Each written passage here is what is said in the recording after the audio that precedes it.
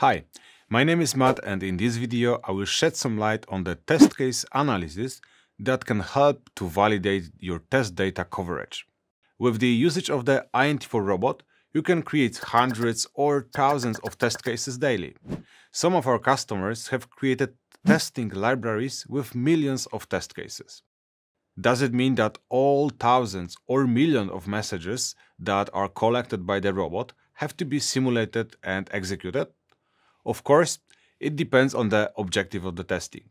For the chosen interfaces and processes, you can save, for example, two or four weeks of data from the production and execute them all with automated validation. It will give you the confidence that you likely tested most of your scenarios. But this is not the only way, of course. Maybe out of all test cases, you want to test only the unique ones, or maybe in your QA system, you want to simulate only the ones for which you have a proper master data. For this, you can leverage the test case analysis and the machine learning capabilities.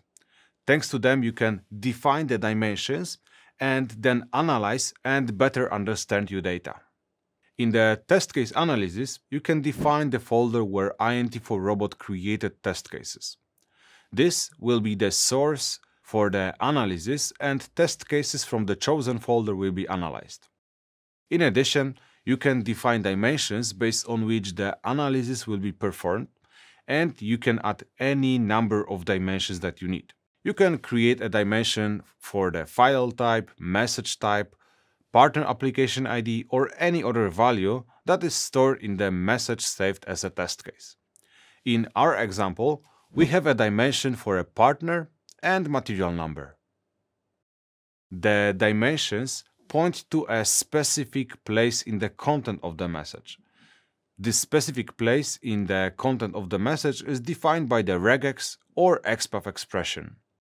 Once the analysis is finished, you can see its results. In our example, we can see analysis done for our two dimensions, partner and materials. At the first glance, we know what are the variations of the partners in our test cases from the source folder. We know its volume and in addition, thanks to the second dimension that we defined, we can narrow the analysis into the details to see which materials have been used by a specific partner by going just into the details.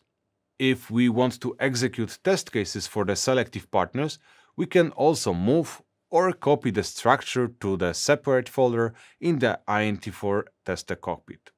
But what is more important, thanks to the INT4 test case analysis, you can get a business insight about the coverage of your test data and ensure that within a given number of test cases, you have all the data you need. Thank you for watching.